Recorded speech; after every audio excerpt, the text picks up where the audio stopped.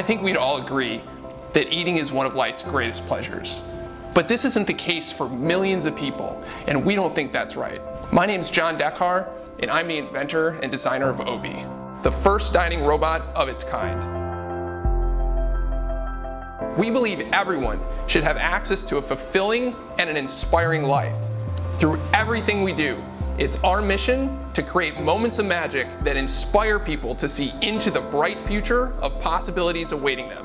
The best gift that you can give the world is living your life fully expressed. And this is just the beginning.